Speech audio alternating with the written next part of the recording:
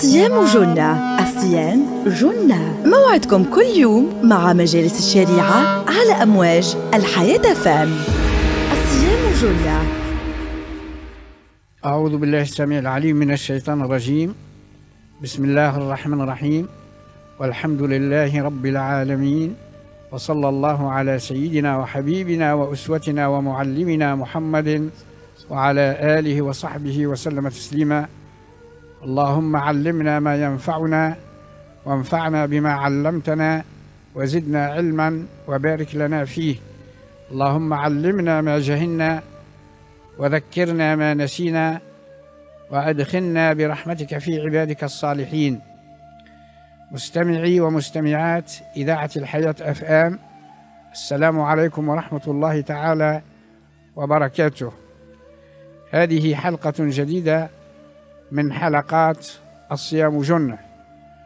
وحلقة اليوم إن شاء الله سنتناول فيها حدثا عظيما من الأحداث التي عاشتها الأمة ولها تاريخ عظيم ولا تنسى وهي حادثة بدر.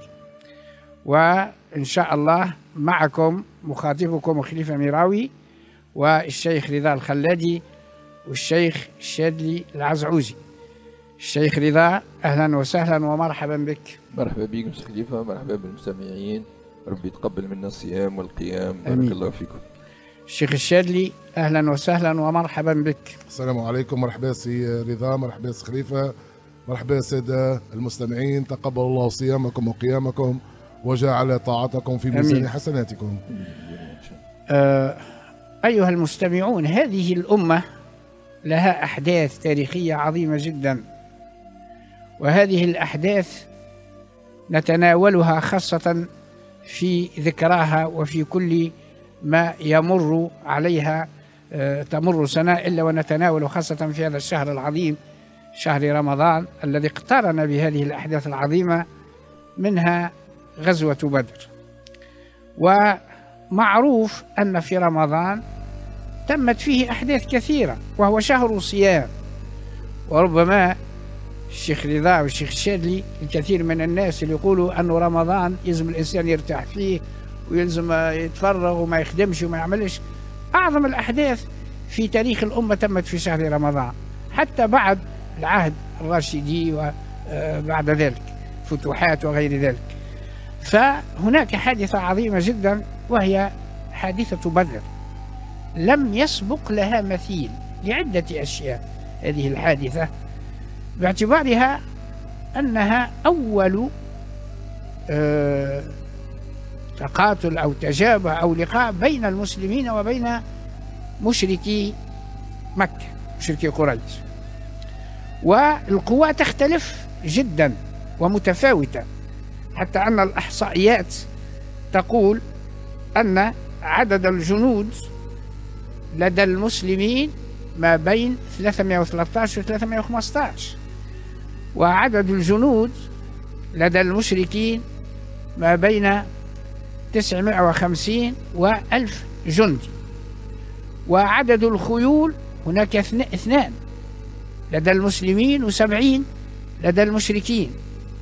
وعدد الإبل زاد سبعين لدى ال- المسلمين وسبعمائة سبعمائة لدى المشركين. وإذا تراوا لهنا القوى متفاوتة ولكن تم فيها نصر عظيم جدا وفيها من المواقف والعبر إن شاء الله اللي نمر بها وبطبيعة الحال مش يبينوها الشيخ رضا والشيخ الشادلي فالشيخ رضا هذه هذا الحدث العظيم الذي عاشته الأمة في العهد النبوي وهي غزوة بدر. لها معاني ولها آه، آثار كبيرة جدا ولها لو آه، آه، تقدمها لنا وللمستمعين بارك الله فيك. شكرا بارك الله فيكم سي خليفة بارك الله فيك سي شادلي. أعوذ بالله من الشيطان الرجيم بسم الله الرحمن الرحيم. وبالله ثقتي وأستعين وصلى الله على سيدنا محمد وعلى آله وصحبه وسلم تسليما. رب اشرح لي صدري ويسر لي أمري واحلل عقدة من لساني يفقهوا قولي. قدمت آه، شيخ خليفة أن الحدث اليوم أو الحديث اليوم عن حدث عظيم. نعم عن الحدث العظيم اللي هو غزوة بدر. وفي الحقيقة أنا مانيش مش ناخذ آه، أو ربما نحن في الحلقة هذه مش مش ناخذ الغزوة بالتفصيل الدقيق للأحداث لأن هذا قد يطول ويطول جدا. نعم. ولكن فما معاني كبيرة ومعاني كبرى يلزمنا نقف عندها. أجل المعاني هذه وأعلاها. أنا العبر مش نخليها أكثر استشهاد في التفصيل ومش ناخذ بعض الأحداث وبعض الأسباب والأحداث. ولكن نحب ندخل أنا بمقدمة. أنا نتحدث عن الغزوة أو عن الجهاد في الإسلام. نعم وكيف أن النبي صلى الله عليه وسلم يعلم الصحابة ويعلمهم يعني العبادة يعلمهم المعاملات. حتى في الجهاد يلزم يعلمهم كيف يكون الجهاد وما الغاية من الجهاد وما المقصد من الجهاد. أكيد كلنا نعرف أن العرب في الجاهلية كانوا قبل يعني يعتمدوا على الغزو وعلى الاعتداء بعضهم على بعض لأقواتهم. والغارات هذيك كانت يعني عادي جدا عندهم. أن قبيلة تغور على قبيلة وتعتدي وتظلم وتفتك عادي إلى درجة أنهم معناه يسبيوا النساء إلى درجة أنهم يعني تنتهك الأعراض. وذاك علاش الجاهلي زمن الجاهلي يعني يعني يئد بنته. لم يعمل لها الوأد هذاك يعني إذا الموؤودة سئلت بأي ذنب قتلت يعني الوأد هذاك لكثرة الغارات بين القبائل. لكن الإسلام منهج جديد في الحياة. الإسلام منهج آه إنساني منهج الرفق ومنهج المحبة ومنهج يعني الإنسانية إنسانية الإنسان كيفاش معناه يسمح لقبيلة قوية أن تعتدي على قبيلة أخرى أو شخص يعتدي على شخص هذا لا يسمح به الإسلام هذا يعني شرعا محرم ولذا لابد أن يكون منهج الجهاد وقتال العدو منهج رباني هذا بطبيعة الحال يعني من الله سبحانه وتعالى الوحي ومن النبي صلى الله عليه وسلم التبليغ وإفهام الناس فكان يحثهم على آه، وجوب آه، إعلاء كلمة الحق هذا المقصد الجهاد إعلاء كلمة الحق ودحر الباطل.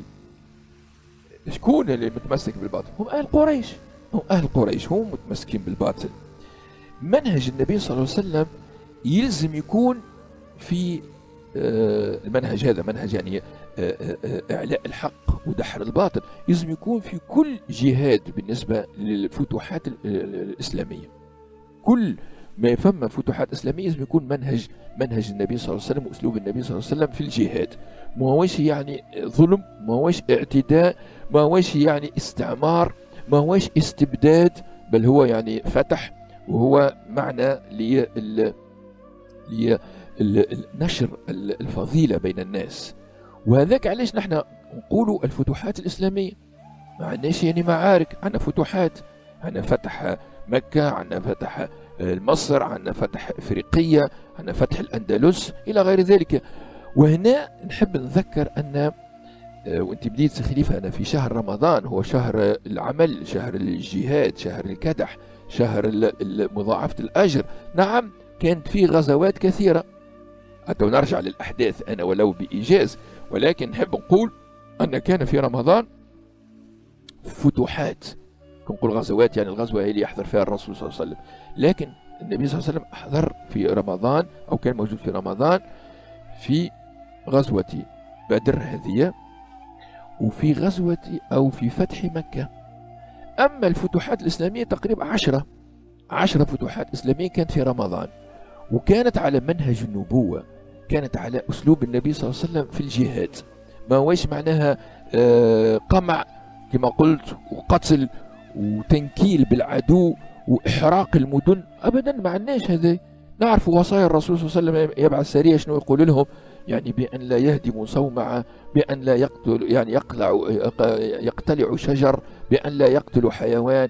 بأن كذا كذا هذا كل بأن لا يعتدوا على شيخ بأن لا يعتدوا على امرأة هذا كل من أسلوب الإسلام في في الجهاد. وغاية الجهاد هي يعني بيان الحق إعلاء الحق. ديما هذا راهو بإعلاء الحق. رانا نحن نحب هذا شرع الله يوصل لأي كل الناس. يوصل للناس يوصل يعني في يعني لما خرجت الفتوحات يعني إلى بلاد فارس وإلى بلاد الروم فيما بعد ما, ما, ما تمع لا, تمنعون أو لا تمنعنا الجيوش أو لا يمنعنا العدو على نشر الحق لعامة الناس. هذه المقصد وهذا الكليات الكبرى في الدين. فكانت يعني بسرعة أنا أمر بسرعة على آه، أهم الفتوحات مش نذكر عشرة فتوحات وقعت في رمضان. الأولى هي غزوة بدر. الثاني فتح مكة تاريخيا. الثالث القادسي. الرابع فتح الأندلس 100 وتقريبا 100 و, و 100 هجري 99 هجري. ثم بعد بلاط الشهداء وسبحان الله في بلاط الشهداء هذه إيش فيها؟ من روعة وإيش فيها؟ من آه، يعني آه، رحمات وفتوحات على المسلمين. أن آه، تثبيت الإسلام في أوروبا كان بهذه الغزوة أو هذا الفتح فتح بلاط ما يسمى ببلاط الشهداء اللي وقعت عام 114 هجري اللي يعني استشهد فيها كثير من المسلمين صحيح واللي نشوفوا نحن المسلمين اللي خرجوا من الجزيرة العربية وخرجوا من شمال إفريقيا وصلوا حتى الحدود باريس تقريبا. لكن كثرت كثرت يعني هنا أوروبا خافت خافت من المد الإسلامي بسرعة. أنا يعني حدث صغير نمر به بسرعة خافت من الحدث الاسلامي فأعدت جيوش جرارة رهيبة لم يشهدها العالم الكل في الوقت هذا تقريب 400 ألف جندي من الإفرنج ومن الجرمان ومن الإنجليز 400 ألف ضد 40 ألف من المسلمين. ومع هذا كان لا أقول الفتح لأن انهزم هناك الجيش الإسلام لكن كان الفتح في في بلاد الغال لاعتبار أن امتدت الفتوحات بعد بلاط الشهداء. قلت بعد بلاط الشهداء فما فتح عمورية وكان يعني بطبيعة الحال يعني من أكبر الفتوح في رمضان.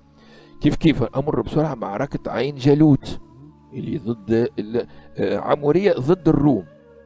فتح عموريه ضد الروم وانهزم فيها الجيش الروماني الروم آه، من قبل الدولة العباسية المسلمين آه، معركة عين جالوت كانت ضد التتار والمغول وهذه مشهورة جدا وكان فيها يعني كف عداء التتار والمغول على المسلمين وعلى غير المسلمين لأن التتار والمغول كانوا مش يزحفوا إلى إفريقيا إلى مصر وإلى تونس ليبيا وتونس شمال إفريقيا ومش يزحفوا كيف كيف لأوروبا. ربي سبحانه سلط عليهم الفتح سلط عليهم المسلمين وشد أزر المسلمين في رمضان وانتصر المسلمون في رمضان على آه، على التتار والمغول في عين جالوت هذه هي معركة عظيمة. بعد معركة حصطين وكلنا نعرفها ونسمع بها صلاح الدين وجولاته وصولاته وطرده للإفرنج من بيت المقدس. كذلك فتح القسطنطينية. يعني وهذا يعني حدث عظيم. كل هذه الأحداث أو الفتوحات كلها في رمضان فتح القسطنطينية 1500 هجري 1500 يعني آه، ميلادي يقولوا آه، تقريبا 800 بعد 800 هجري. الفتح الأخير والنصر الأخير هو حرب أكتوبر اللي هو كان في رمضان. نعم ضد اليهود الصهاينة المستبدين المستغلين لأرض الإسلام والمسلمين. إن شاء الله ربي يحرر فلسطين كل فلسطين من شرهم ومن خبثهم. هذا يعني حبيت آه، مقدمة عامة لي الحديث عن رمضان وعن الجهاد في رمضان وعن أسلوب المصطفى صلى الله عليه وسلم في الجهاد. ما هوش أسلوب يعني متاع آه، كما قلت أسلوب الجاهلية في القمع وأسلوب الجاهلية في الاستبداد وإنما هو يعني أسلوب الرحمة أسلوب الرفق أسلوب المحبة اللي هو يعني المقصد متاع الجهاد هو نشر كلمة الحق ودحر الباطل و وإبعاد الناس عن عبادة آه، الأوهام والأصنام. إلى عبادة الله سبحانه وتعالى الواحد الأحد إلى قيم قيم كبرى وقيم عظمى اللي نادى بها الإسلام حتى يعني تسود تسود كل كل بلاد الله سبحانه وتعالى تسود العالم كله تسود وهذه وهذا كان منهج المسلمين كان هذا أسلوبهم. ما كانوش يفكر يقول أنا معناها في عصبيتي أنا معناها في بلاد العرب بكى ويكفي هار وانتشر الإسلام في بلاد العرب لا. كان المسلمين يعني بجهادهم وبقتالهم وبتضحياتهم كانوا يحبوا يوصلوا الإسلام إلى كل بلاد العالم. كل إنسان يعني وهو سبحان الله نفهم منه كيفاش أن المسلم يعني بطبعه إنسان خيري إنسان قيمي يحب الخير للناس مهما يكون. هذاك اللي في في في في آخر بلاد العالم اللي في الصين في آخر الصين غادي يحب يحب المسلمين المسلم يحب أن يصل الإسلام إلى ناس في الصين. يحب الإسلام المسلم المسلم يحب الإسلام يوصل إلى شمال أوروبا مش حتى أوروبا جنوبها.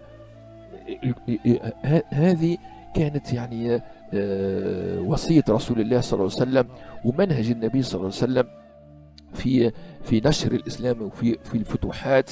التي يعني لابد أن تكون عندها معنى معنى يعني آه، إيجابي نفهموه. كما ذكرت ونعاود عدة مرات راهو ما هوش غزو ما هوش قتل ما هوش الإسلام عمره ما كان هذا منهجه ما هوش اعتداء.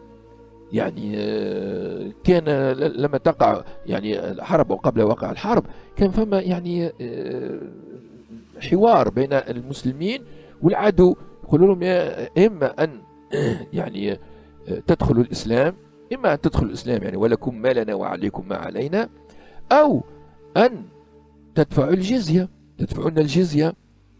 إيش معناها تدفعون الجزية؟ يعني أنتم توليوا من رعايا المسلمين وتخليونا نمروا للي بعدكم ونحن نحميوكم خليونا نمروا لل... للأمم والدول اللي بعدكم. أه ما حبيتوش؟ أه وقتها الثالثة اللي هي الحرب. لكن الحرب هذه آخر حاجة. لكن من الأول دعوة للإسلام دعوة إلى الحق دعوة إلى ال ال ال اجتناب الباطل والشرك. أه؟ قالوا لا ونحن ثم من رعايانا ندفع الجزية وحاجة بسيطة برشا الجزية ونمر إلى غيركم. خلي. خلونا نتعداو إلى غيركم من الأمم الأخرى ما تمنعوناش. لأن رسالتنا نحن نشر الإسلام. رانا جينا ننشر الإسلام. إذا أنتم قبلتوه مرحبا ما قبلتوهوش عليكم الجزية ونتعداو لغيركم. هذا يعني توطئة توطئة عامة يعني للموضوع. أكيد أنا أحداث بدر يعني أحداث عظيمة وجزئيات كثيرة. تو ناخذها بشوي بشوية. بما يسمح الوقت تفضل شيخ خليفه ربي يبارك فيك. الشيخ رضا. آه، اذا هناك معلومة هامة جدا ذكرتها الشيخ رضا. في ما يتعلق بأن الإسلام ما هوش هو اللي بادر بالقتال ولا بالغزو ولكن من وقف في طريقه أو منعه من نشر هذه الدعوة التي هي خير لكل العباد والخير مطلوب من ال... حتى إنسانيا أن ينشر الإنسان الخير فما بالك بالإسلام؟ والله سبحانه وتعالى يقول لنا ولتكن منكم أمة يدعون إلى الخير ويأمرون بالمعروف وينهون عن المنكر. فالإسلام لم يبادر في أي غزوة. المسلمون لم يبادروا بالقتال ولكن عندما يعتدى عليهم أو يوقفوا في طريقهم عند ذلك هم يقاتلون ويدافعون. نعم. وحتى الجزية اللي يأخذوها كيف ما ذكرت شيخ بارك الله فيك أنها مقابل حماية المسلمين لهم. يعني. لأن المسلمين يحموهم. وقت اللي هما ما همش مش يقاتلوا معهم ولكن آه يحموهم. الشيخ الشادلي هذه غزوة عظيمة جدا غزوة بدر وفيها عبر وفيها عدة أشياء. فتفضل الشيخ الشادلي آه لو تذكر لنا بعض ما يتعلق بهذا الحدث العظيم. أعوذ بالله من الشيطان الرجيم. بسم الله الرحمن الرحيم. وبالله ثقتي واستعين وصلى الله على سيدنا ومولانا محمد وعلى آله وصحبه وسلم تسليما. الدروس والعبر التي يمكن أن نتعلمها من هذه الغزوة العظيمة. لا يمكن أن نحصيها ولا يمكن أن تكون في حصة واحدة بل آه، لابد آه، أن آه، يعني نترك الوقت لذلك. من بين هذه النقاط اولا أن رب العزة جل وعلا عظم شأن هذا اليوم وهو يوم يوم بدر. وعظم من حضره من المسلمين والملائكة. سبحان الله العلي العظيم سورة كاملة يعني سجلت هذا الحدث التاريخي اللي هو سورة الأنفال. ثم إن المولى سبحانه وتعالى سمى هذا اليوم باسم مذكور في القرآن الكريم يوم الفرقان. كذلك عظم النبي صلى الله عليه وسلم أهل بدر الخاصة اللي خرجوا مع النبي صلى الله عليه وسلم من 313 أو 315 من صحابة النبي صلى الله عليه وسلم وورد في البخاري أن النبي صلى الله عليه وسلم قال لعل الله اطلع على أهل بدر فقال افعلوا ما شئتم فقد غفرت لكم يعني أهل بدر هم صفوة صفوة الصحابة من أصحاب رسول الله صلى الله عليه وسلم. لا مش كذلك مش كذلك الصحابة. كذلك الملائكة. هم كذلك هم درجات. ففي صحيح البخاري جاء جبريل إلى النبي صلى الله عليه وسلم فقال ما تعدون أهل بدر فيكم؟ يعني قدش فلا مكان تحطوهم. أي, أي فلا مكان أهل بدر. فلا مكان تحطوهم. قال ما تعدون أهل بدر فيكم؟ قال من أفضل المسلمين. هذا إجابة النبي صلى الله عليه وسلم لسيدنا جبريل عليه السلام. فقال وكذلك من شهد بدلا من الملائكة. آه أكل الملائكة التي ناصرت النبي صلى الله عليه وسلم في هذه الغزوة هم من أشرف الملائكة ومن أفضلها. يوم بدر هو يوم عظيم. انقلبت فيه بكري ذكر السريضاء قال أن انقلبت فيه الموازين بين الموازين المادية متاع الشرك والمواز وثقلت موازين الدينية الغيبية المعنوية. أول بطبيعة الحال بالجانب الإيماني هنا هو الذي رجح الف... ال... ال... ال... كفة المسلمين. يعني آه، وقت اللي ذكرت سيادتك الكفة في البداية كانت بالجانب المادي لابد أن تنتصر قريش. العدد العدد والعتاد والعدة الكل لصالح قريش. لكن ثم جانب هام هو الجانب الإيماني الذي رجح كفة محمد صلى الله عليه وسلم وأصحابه. ممكن كذلك آه، آه، آه، نذكر كيف حاز القائد القائد الأعلى للمعركة على ثقة جنده ومحبته ومحبتهم له في هذه الغزوة. إذا الشيخ شادلي بارك الله فيك هذا تشويق إن شاء الله ونريد أن نعرف ذلك ولكن بعد هذا الفاصل فسنعود إلى الإخوة المستمعين آه، بعد هذا الفاصل إن شاء الله. إن شاء الله. الصيام جنة الصيام جنة. موعدكم كل يوم مع مجالس الشريعة على أمواج الحياة فام. الصيام جنة. بسم الله الرحمن الرحيم. والحمد لله رب العالمين وصلى الله على سيدنا وحبيبنا محمد وعلى آله وصحبه وسلم تسليما. آه الإخوة المستمعون السلام عليكم ورحمة الله تعالى وبركاته. عدنا إليكم بعد هذا الفاصل في هذه الحلقة المتعلقة بغزوة بدر. وكنت الشيخ الشادلي قلت آه، كيف يمكن أن يكون القائد مطاعا وينال يحوز ويحوز ثقة جنده. نعم. أه، أه، نوضح أن كما ذكر أه، سيدي وطأ في ذلك منذ البداية أن هذه أول غزوة يلتقي فيها جيش المسلمين مع جيش قريش. والنبي صلى الله عليه وسلم ليس كما يدعي كثير من الناس هو مجرد رسول فقط بل هو باني دولة وقائد عسكري. القائد العسكري اللي هو سيد الخلق صلى الله عليه وسلم وتحته 313 جندي كيف سينالون هم؟ اولا ثقته طاعته ومحبته. ثم نقاط عديدة اولا عن طريق الشورى ثانيا أن يتساوى القائد بجنده حتى ولو كان جنديا بسيطا. ثالثا عدالة القائد حتى في أحلك الظروف بين جنوده وبين نفسه. نحب نبدأ عن طريق عن طريق الشورى أين تجسدت الشورى في هذه الغزوة؟ معلوم أن النبي صلى الله عليه وسلم آه، عندما يعني فر أبو سفيان بالقافلة متاعه النبي صلى الله عليه وسلم عسكر قبل أبار بدر. سأله صحابي واحد اسمه الحباب بن المنذر قال له يا رسول الله هل هذا المنزل أنزلكه الله أم هو الحرب والخدعة والمكيد؟ إن كان وحيا من الله لا نناقش في ذلك. إن كان رأيا منك فهذا يعني يمكن أن نغيره. قال بل هو الحرب والخدعة والمكيد. قال يا رسول الله هذا المنزل ليس بمنزل. فمر مر الجند فليتقدموا. وضع خلفنا الآبار واطمس الآبار فنشرب يعني مش خليه كان بير واحدة. فنشرب ولا يشربون. وهذا تكتيك حربي قبل ما تبدأ المعركة في أن النبي صلى الله عليه وسلم لم.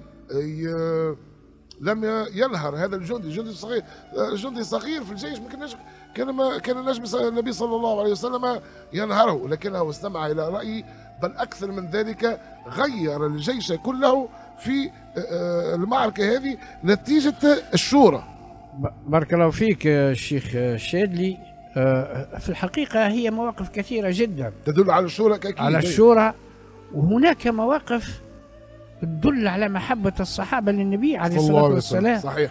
والولاء له المطلق عليه أكيد. الصلاة والسلام لأنه آه، لا يدعو إلا إلى خير وجاء بالخير عليه الصلاة والسلام. والمعركة هامة جدا. أول معركة كما ذكرت يخوضها المسلم يخوضها المسلمون. سماها القرآن يوم الفرقان. يعني يوم, يوم, يوم الفرقان. وعددهم أكيد. قليل والمشركون عددهم كثير وعددهم صحيح. أكثر وأكثر.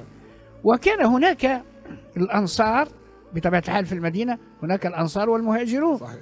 والأنصار كان سيدهم سعد بن معاذ رضي الله تعالى عنه.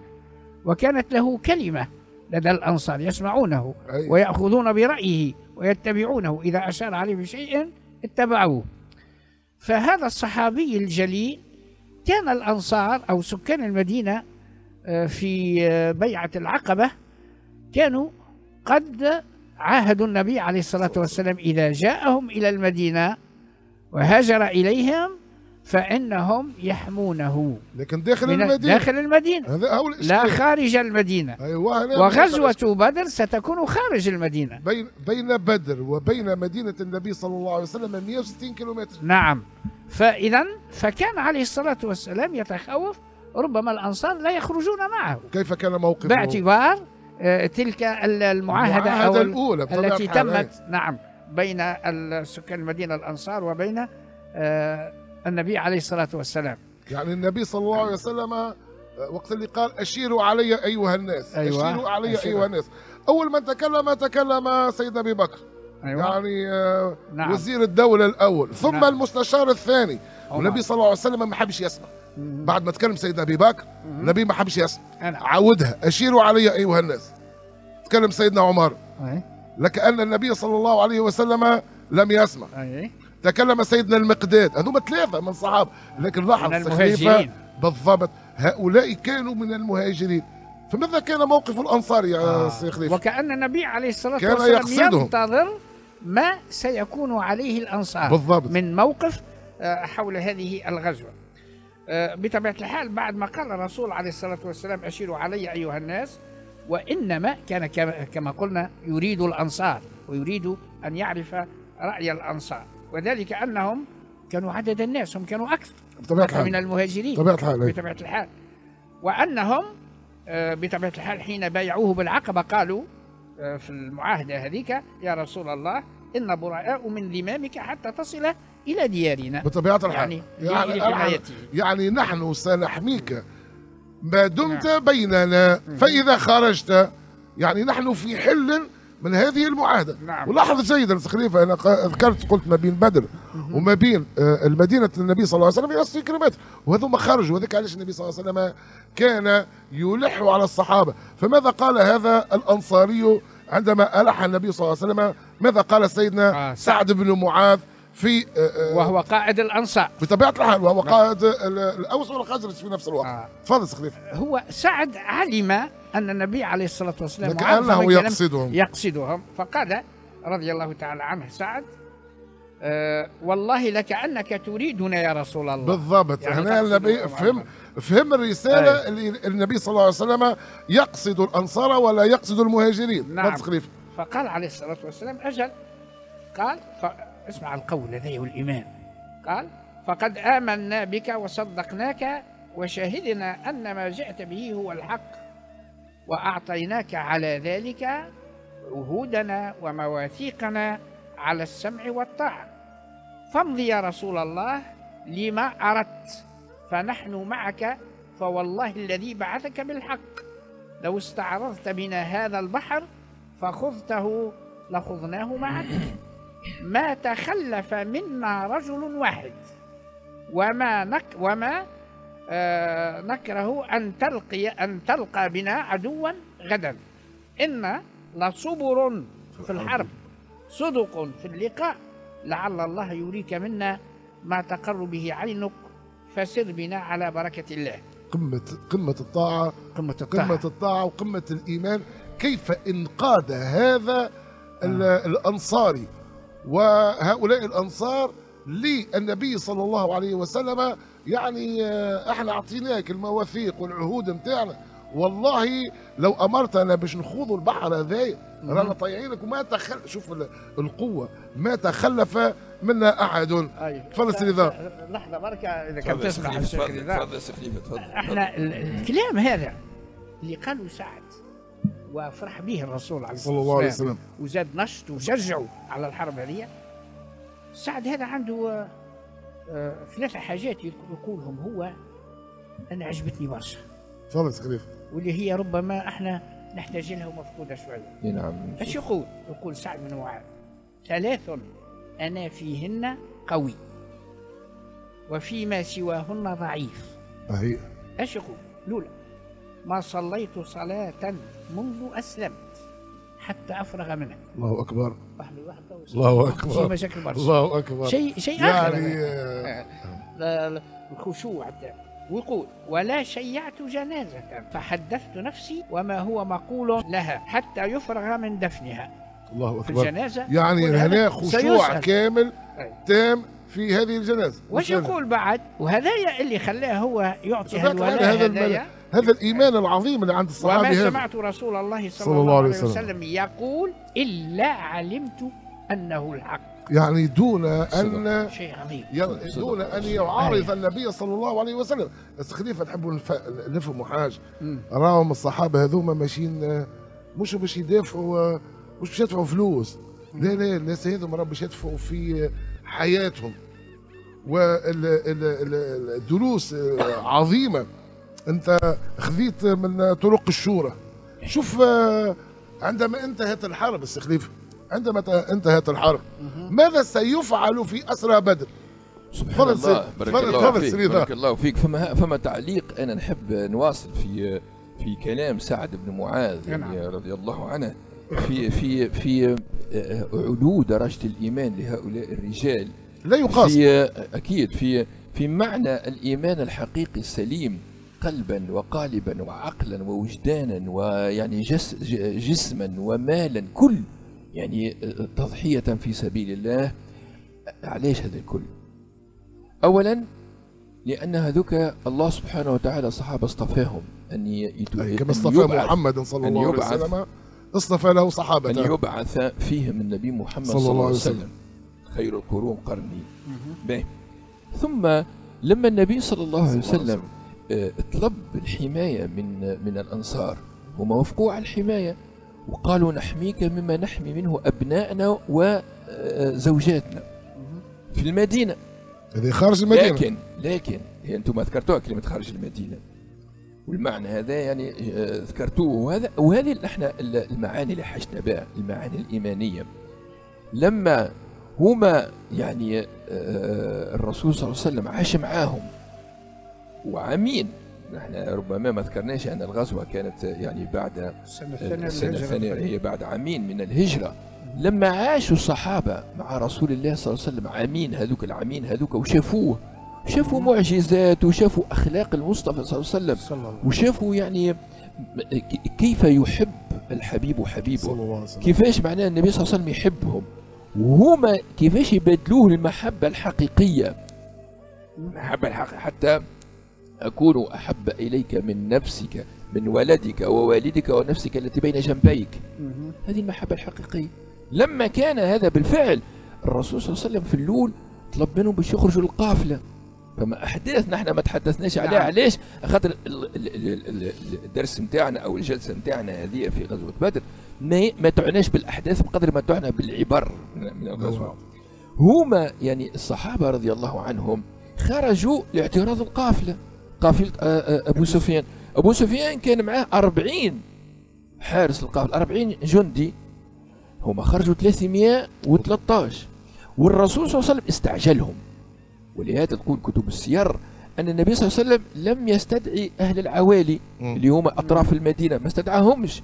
يعني قال راوا خوفا فرار القافلة اللي هو أمر شرعي. يقول قائل يا أخي يا أخي يعترض القافلة. يعني عادي نعم عادي وعادي جدا علاش؟ لأن أصل اموال المسلمين في القافلة هذيك. نعم. أصل أموال المسلمين نهبوها منهم. صهيب صهيب ابن سينان سمى صهيب الرومي رضي الله عنه. رضي الله عنه. لما هاجر كان صهيب من أغنى الناس.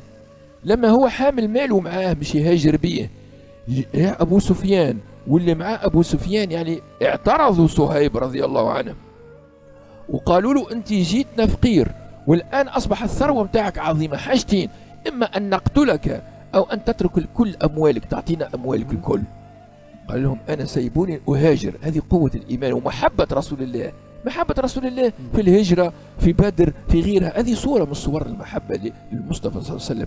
هاجر صهيب قال لهم أموالي تلقوها في المكان الفلاني في المكان الفلاني في المكان الفلاني ويعرفوا ويعرفوا اللي هو صادق. وهما يعرفوا اللي هو صادق وسيبوه وخلوه يهاجر. أكيد خذوا أموال المسلمين. صحيح المسلمين أغلبهم يعني أو كثير منهم ما نقولش أغلبهم. المهاجرين قصدك لا المسلمين في في زمن النبي صلى الله عليه وسلم في زمن في مكة في مكة. أغلبهم كان فقير لكن كثير منهم كان له من المال الكثير له من الأموال هذيك كلها افتكها. يعني هذه نحب النقطة نوريها خاطر ربما بعض العباد يقولوا آه يعني آه سيقطع السبيل على القافلة هذه ويأخذ فيك هو. هو أموال هما المسلمين هذيك. استرجاع أموال استرجاع. باهي. لما ما, ما, ما لم تثبت يعني القافلة فرت ولم يثبت اعتراضها فقريش لما اغتاظت علشان ندخل طرف أحداث اغتاظت قريش كيفاش كيفاش الرسول صلى الله عليه وسلم كيفاش يعترض لنا القافلة بتاعنا؟ وين هيبة قريش؟ وين مكانة قريش؟ فأكيد وقتها خاصة أبو جهل والجماعة اللي معاه يعني من من من أعداء أعداء الإسلام أعدوا للخروج للقافلة. ألف جندي. لما يعني القافلة منعت كثير من قريش قالوا أي منعت القافلة نرجع على رواحنا لا. يعني أبو جهل شد تصحيح. وشرار القوم في قريش شدوا صحيح زلنا نأدبوا المسلمين هذوما باش باش ما عادش يرجعوا لنا ويعترضون القوافل بتاعنا. لكن الله سبحانه وتعالى أراد إحدى الحسنيين إما القافلة ووعد النبي صلى الله عليه وسلم والصحابة بذلك إما القافلة أو الانتصار على العدو. فكان النبي صلى الله عليه وسلم يجهز كما قال خويا الشيخ بكري كما قلت أنت يحذر في الناس يعني معنويا. على المستوى النفسي. المستوى النفسي. لما لما ال- الأوس والخزرج لما كان الخزرج 170 170 من من الخزرج و61 من الأوس و83 من المهاجرين. هذا كلهم 314 لما يسمعوا عامة الجنود يسمعوا سعد بن معاذ يقول كلام بتاع سعد بن معاذ كيفاش مش ينزل على قلوب المهاجرين والأنصار؟ بالضبط يشجع. هذا يعني معنى الرجل القائد اللي تربى عن القائد.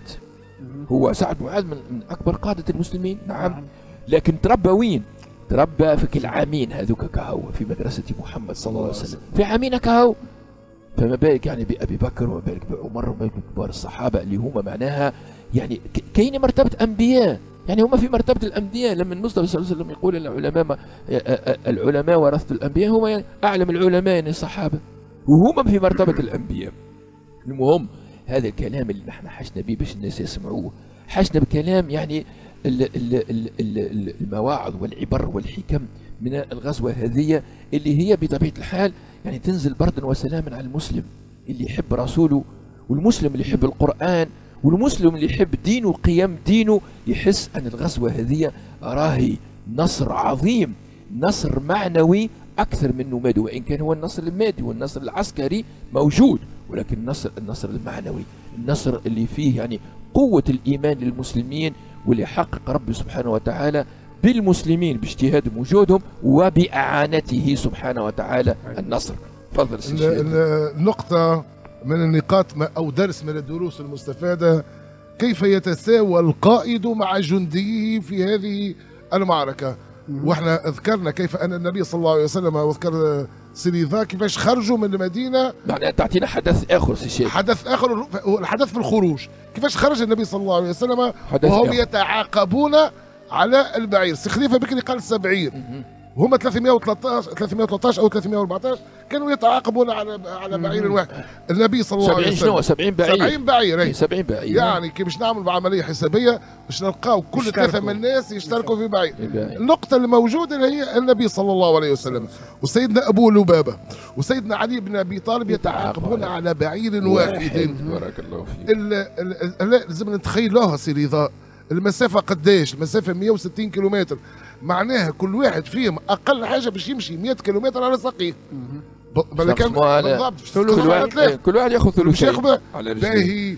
زوز من الصحابة سيدنا أبو لبابة وسيدنا علي أشفقا على سيد الخلق صلى الله عليه وسلم. قالوا له يا رسول الله اركب أنت وخلينا نحن. ما هي, يصيرش هي. سامعني هي محبة. بالضبط. محبة. لو كان أنت يا شادلي يعني تكون مع رسول الله في السير. والله هذا استحضرها. استحضرها أنت تو هذا. هي الإشكال.